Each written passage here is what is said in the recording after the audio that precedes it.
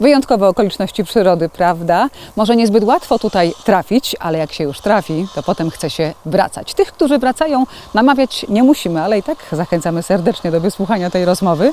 A tych, którzy tutaj jeszcze nigdy nie byli, mam nadzieję, uda nam się przekonać, żeby się tutaj zechcieli zjawić i napawać pięknem, które także w środku będzie nas otaczać. Zapraszamy.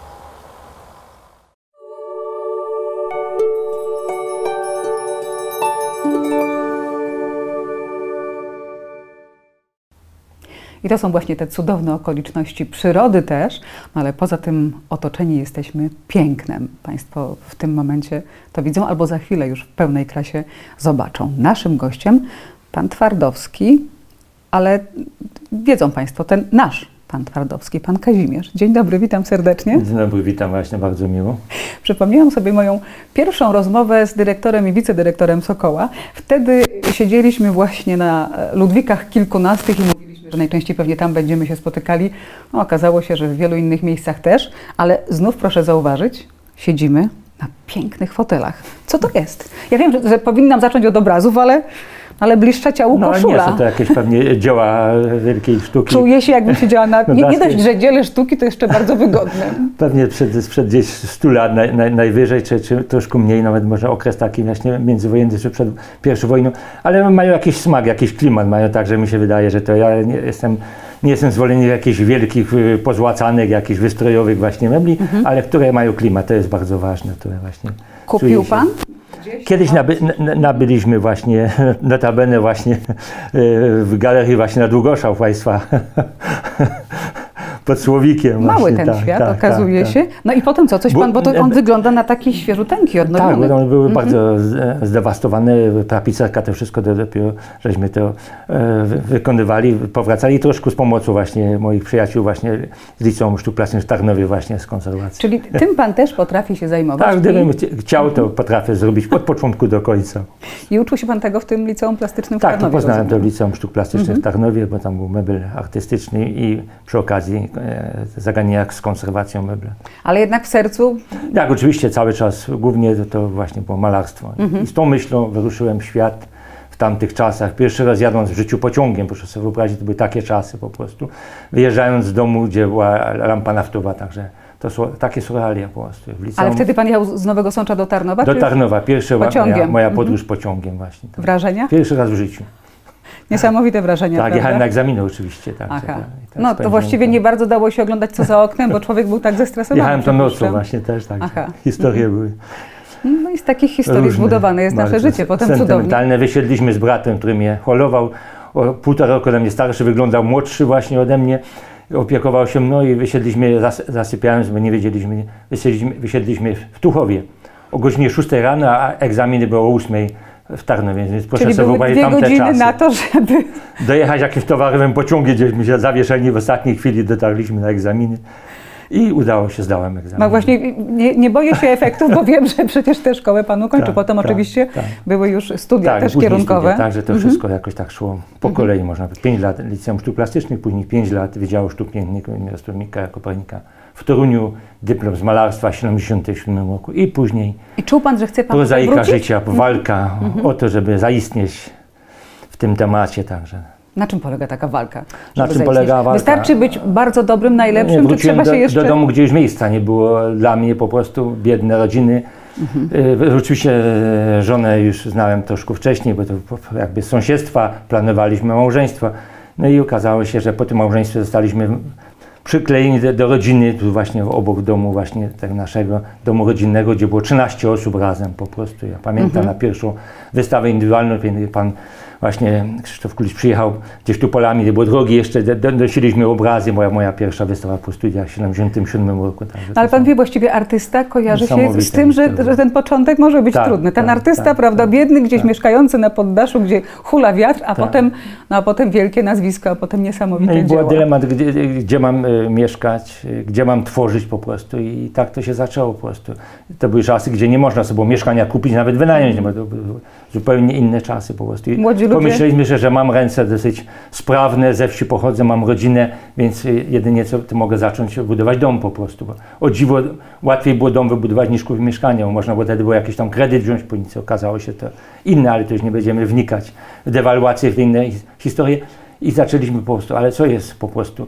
Nie ma materiału, z czego budować, więc musieliśmy materiał sami zrobić. Więc tymi rękami właśnie od akwareli po studiach artystycznych zaczęliśmy pustaki robić, betony i to wszystko, te inne prace, nie będziemy już się I, nad tym rozwodzić. I okazało się, że, że dało się to zrobić. No jak pan mówi, był pan człowiekiem pracowitym, wywodzącym się z małej I miejscowości, zamieszkaliśmy więc w tym domu pracy. po kilku latach, gdzie właśnie tak jak pani wspomniała przed chwileczką, w tej miejscu to nie było okien, były folie, wiatr dmucha, my z dwójką małych dzieci tam gdzieś w piwnicy, w innym miejscu, gdzie się da- udało pozamykać, przenosząc się gdzie indziej, gdzie piec jakiś akumulacyjny się wstawiło, żeby się ogrzewać, bo wiadomo, żadnego ogrzewania nic nie można było tu włączyć, jest No dom tak. niewykończony. I tak Ale wie pan, ja to się- trwało po prostu. Ja się właśnie zastanawiałam, jak musi być dobrze dogadane małżeństwo, żeby kiedy jest jedno jest artystą, no w Pana przypadku wiadomo mąż, to żona właściwie musi za Panem nie tylko nadążać, ale Pana wspierać i budować Musi, razem z Panem to i, i godzić się na to, żeby Oczywiście. właściwie z domu zrobić Tak, w jakimś stopniu, w, jakimś, w jakiejś części galerię, prawda? Tak, to później ja- jak- oczywiście z biegiem czasu, kiedy Mhm. to jakoś tam się już po, po, po,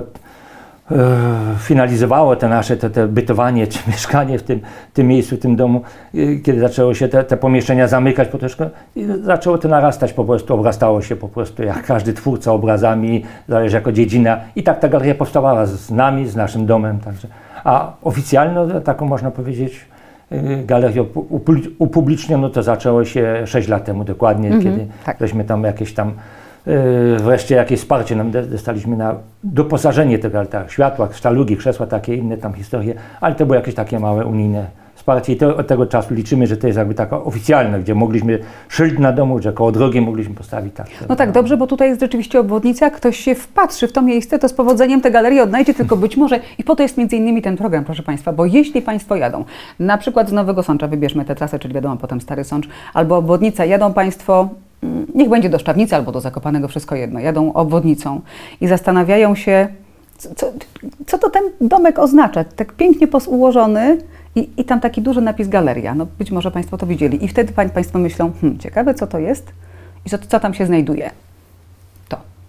Właśnie tutaj jesteśmy, Ja w się tym uśmiecham, przeuroczym właśnie miejscu, włączę tak? się, akurat było kilka takich sytuacji, że ktoś podjeżdża i pyta się, co tu sprzedają, jak, Tak. jakiego ty, typu jest galeria. Właśnie pojęcie galerii niestety, zwłaszcza u nas w Polsce, zdewaluowało się po prostu. Dziwię się, że nie możemy jako twórcy, jako ludzie kultury, jako ludzie Znaleźć innej nazwy? e, jakoś obronić, nie obronić po prostu, obronić tej nazwy po prostu, bo obok tego mamy, nie, na, naszego domu jest jakiś tam sklep, jakieś e, magazyny, na których pisze galeria taniej odzieży, galeria czegoś tam innego i to wszystko się kojarzy ludziom tylko nie z galerią sztuki po prostu. Tak, Oj, to by było trudne, przypuszczam, do obrony, jest ale, to przykre po prostu troszkę, no ale niestety... ale tak byłabym jest. za tym, żeby galeria została Tak rzeczywiście powinno, uważam.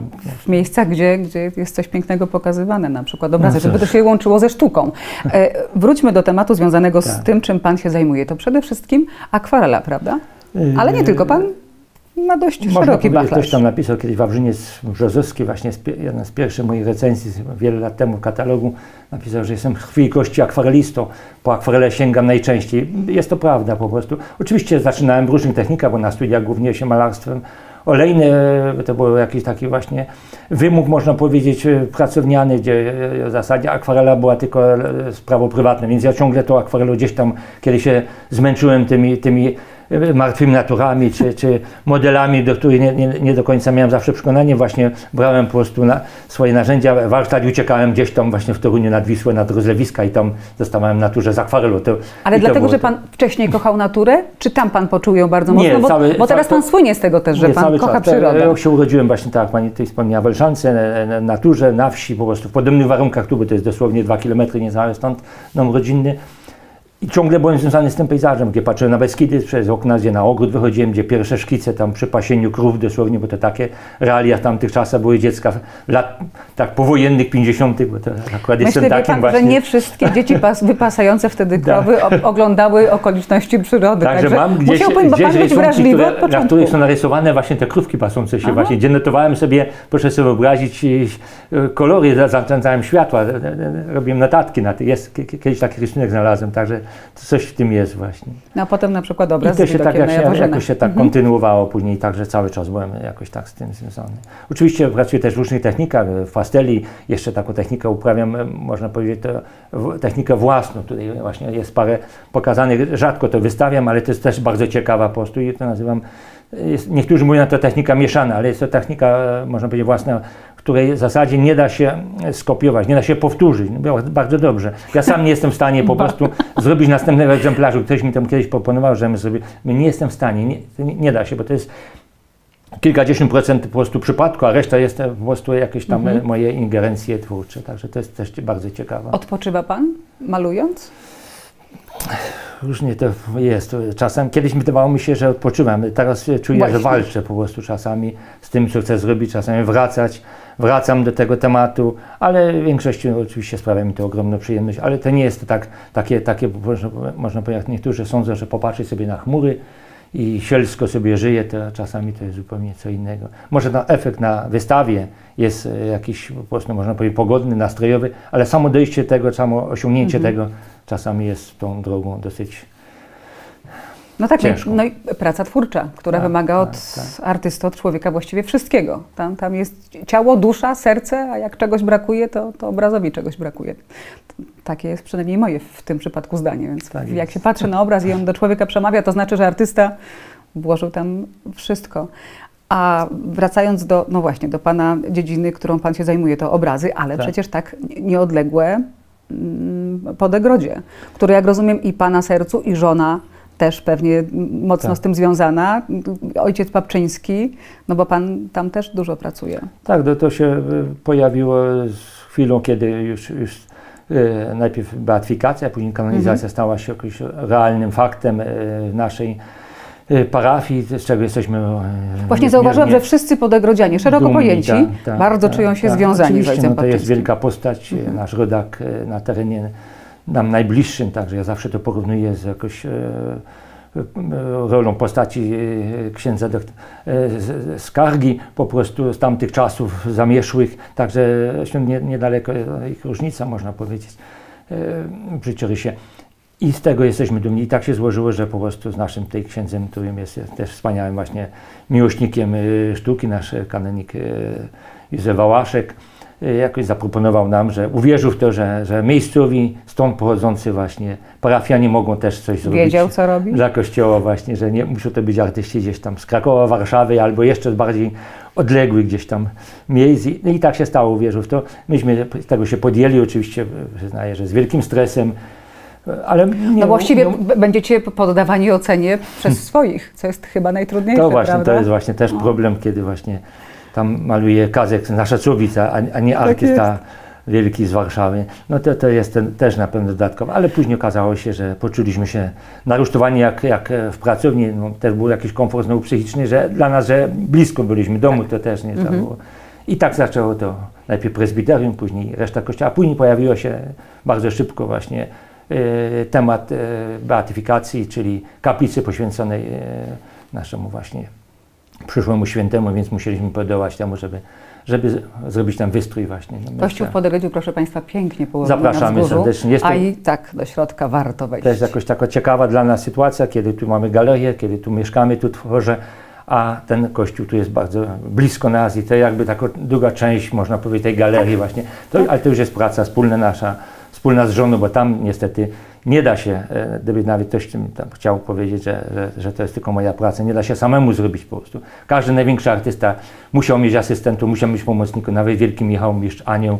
Sam na rusztowaniu ponoć był, ale to nie jest raczej możliwe, żeby dokonać tego. No tak, wtedy Także- trzeba się mierzyć z freskami Także z zupełnie inną Poza, perspektywą. poza postaciami, które ja tam, e, można powiedzieć, sam e, prowadziłem, żona całą tu resztę wykonywała łącznie ze sztukatariami, zleceniami, wykończeniami.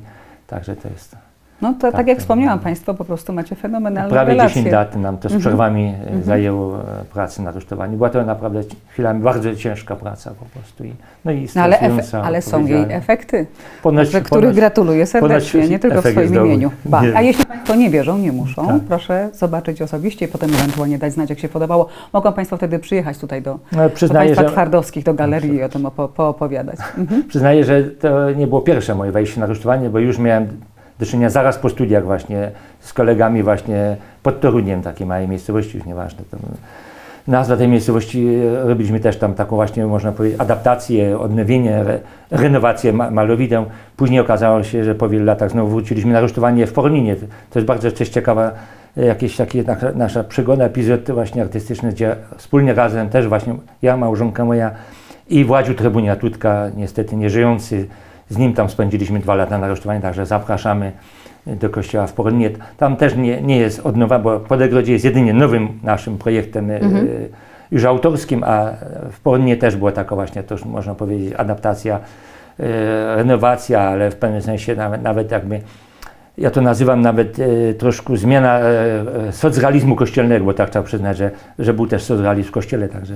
I myśmy to tak troszeczkę zrobili na, tutaj Władziu też dużo miał na to wpływ, Trybunia na takie właśnie bi- biblijne malarstwo, troszkę nawiązujące też do e, ma- malarstwa i, i widzenia takie właśnie sztuki e, z, z tamtego regionu, z Podhala. I dzisiaj chciałabym, żeby ta rozmowa mogła tyle- potrwać dłużej, ale, ale spróbuję zmieścić się w ramach. Tak? Tyle ciekawie, że jesteśmy tam na, e, na ścianie na Malwidle, małżonku siedzimy w ławce jako modele też, także na, namalowani A. przez Władzia Trybunie właśnie. Rozpoznawalni To jesteśmy. gdyby tak. taką trasą z Wami związaną, Tak, to tam tak, też trzeba byłoby się wybrać. Panie Kazimierzu, jeszcze jedno pytanie już do brzegu zmierzając. Mm, Trudny czas, czas pandemiczny, trudny dla nas wszystkich, ale mam wrażenie, że Pan tutaj otoczony pięknymi obrazami, mam taką nadzieję, ja chyba tak bym się czuła, Czu- czuję się trochę lepiej, prawda, otoczony pięknem, ale przypuszczam, że też brakuje Panu tego kontaktu bezpośredniego z, z tymi, którzy mogliby tu przychodzić tak samo jak, jak właściwie Pan żył takim życiem artystycznym, spotkania i tak dalej, nie? Ja bym tutaj Trochę po- się urwało. powiedział, że po prostu czasami jest odwrotnie, że ten artysta więcej cierpi w takim momencie po prostu. O. Tak bym to ujął po prostu. Dlatego, że y, ja czułem się jakimś takim y, artystą y, wyzwolonym, wolnym po prostu, a zresztą mój kontakt ze sztuką, taką właśnie związaną z inspiracją, z, z naturą, z przyrodą, z pejzażem, z ciekawymi zjawiskami, z ciekawymi różnymi momentami y, pejzażowymi, tym bardziej czuję się troszkę tak jak w klatce, po prostu jakby dzikie zwierzę trochę zamknięte w klatce po prostu w tym momencie, gdzie nie mogę wy- wyjechać sobie do mojej kochanej a Skandynawii, gdzie tam po prostu nad, nad fiordami po prostu mogę pracować, mogę tam wystawiać. Kontakt przede wszystkim z widzem, to jest bardzo ważne po prostu. Jeżeli ja nie, wiele wystaw zostało odmówionych, yy, cały program mój został przerwany i, i to jest właśnie głównie... Czy to nie jest tak, że artysta, jak się zamknie w swojej pracowni, to proszę mu nie przeszkadzać, a właściwie jak jest otoczony pięknymi obrazami, to mu nic więcej do szczęścia nie potrzeba? Myślę, Wręcz nie- przeciwnie, jak Pan mówi. To też jest Jednak? e, związane z, w ogóle z charakterem e, No. pracy twórczej, z tematyką, no, z jego, jego w ogóle samym jakimś tym e, ki- ukierunkowaniem,